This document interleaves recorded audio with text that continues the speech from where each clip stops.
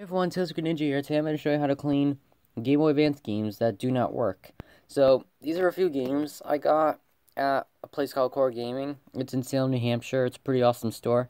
They have like retro games. This one I actually didn't get. Uh, this is Donkey Kong Land 2. I got at a different store, but yeah, that's a whole other story. But I'm going to show you how to clean, or tips how to clean these games because yeah, if you got like games that don't work, like I got Cartoon Network Speedway, it's like Mario Kart Super Circuit basically. You could just rub the contacts with a Q-tip, just like that, and then just pop in, pop it in your Game Boy.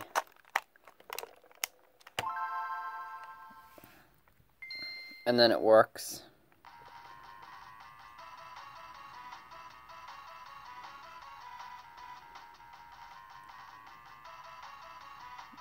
Yep, so there's Cartoon Network Speedway. And, yeah, you maybe you have, like, some other games, like, here's, like, this one beaten-up copy of Yu-Gi-Oh! Um, yeah, this one does work. I, I don't know if you can see it in there, but it's, like, a little, yeah, it's, like, Sharpie writing on it. I actually bought this just, uh, because I just need to complete collection. There was, like, a two, like, a two for four deal. Or not two for four, four, four for ten. Yeah, so like these two games work. This is one that did not work. I got Bionicle.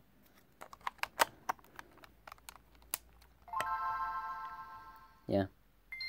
So most Nintendo games, it's supposed to say Nintendo on the bottom, and if it has, if it, if the Nintendo is either like um, like it's pixelated, that means that it does not work, and it won't turn on either. So there is another solution. This is like an easier solution. You can get these screw bits off of eBay or Amazon. Um, I have a link to one of my videos if you want one. So, yeah, you get the screw out, just in the cartridge, and then, yeah, there's there's a battery inside, and if the battery is does not work, then it needs to be cleaned, but you can just take, um, like, one of these rubbing alcohol wipes.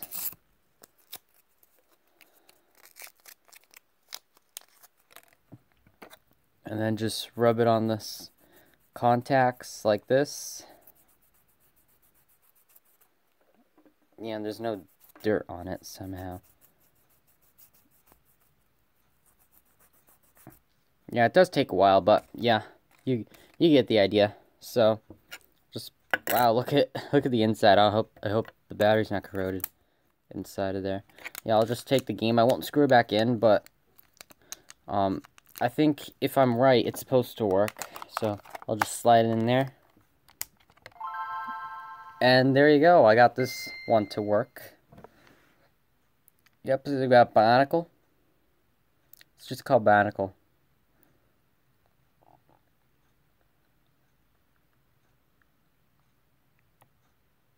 Yep, so the game works perfectly. Yep, so you can have fun playing all your adventure games. And then you can just put the screw right back in there like that. Alright, there you go. And also, if, um, maybe if you, like, shove the cartridge into Well, actually, I just got this one to work then. Well, never mind then. I'll just wait until it gets to main menu.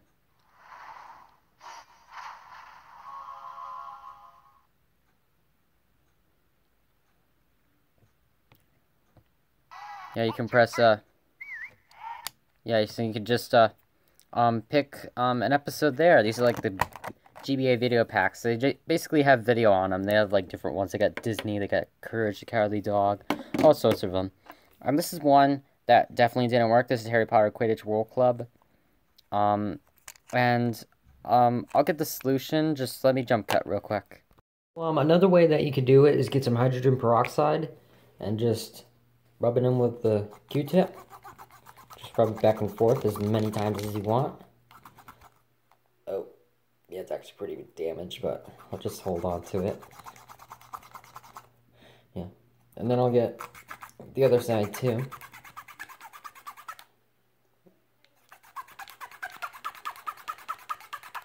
and hopefully it'll work.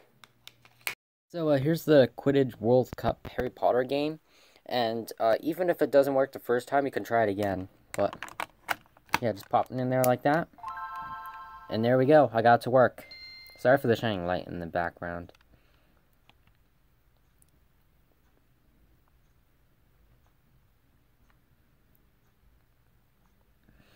I never actually played a Harry Potter game before, so I think this is my first one.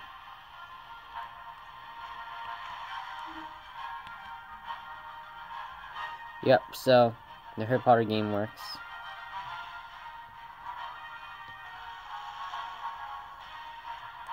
Yep, so the Harry Potter game works. Yeah, and this is my first one as well. And now for um, Game Boy Colors and uh, uh, original Game Boy. So, um, you may think that blowing in the cartridge is a good idea, but it's actually not because as soon as I turn the cartridge over, this is why I don't we don't do it. Yeah, I don't know if you can see it, but there's like grime and everything in there, which is why I don't do it myself. I can show you that it does not work. It might, maybe it will work at the first try, but who knows.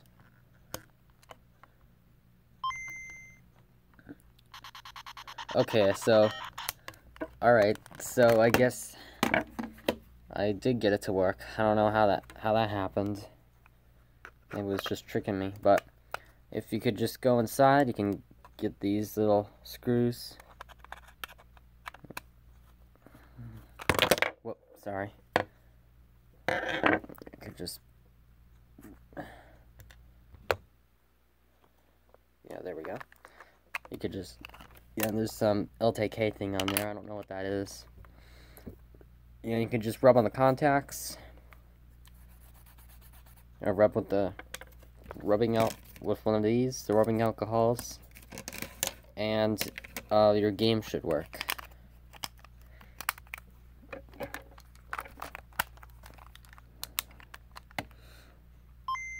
Yep, so it, I already does work though.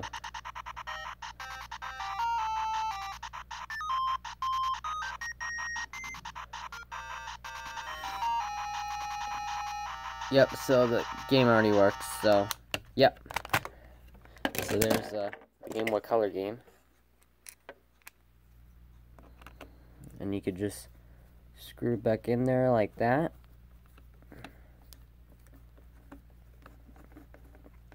And also clean some of this because it's really disgusting. And I also got this copy of Donkey, Donkey Kong Land 2. I sometimes rule a bit when I say Donkey Kong. So, I believe it does work. Yep, it does.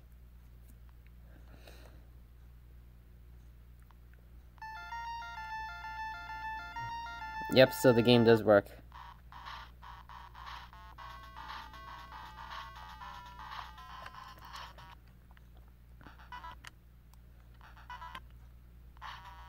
Yep.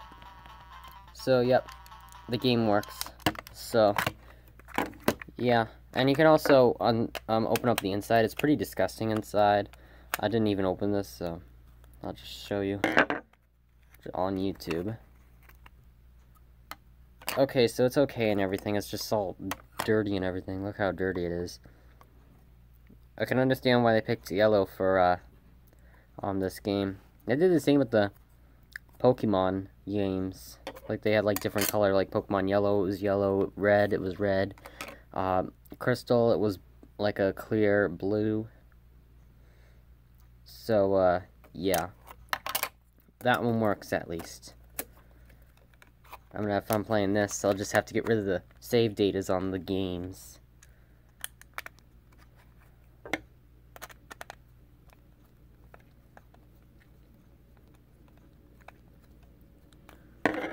So, uh, yep, that's it for this video, and I hope you guys enjoyed, and I'll see you guys in the next one. Peace, bye.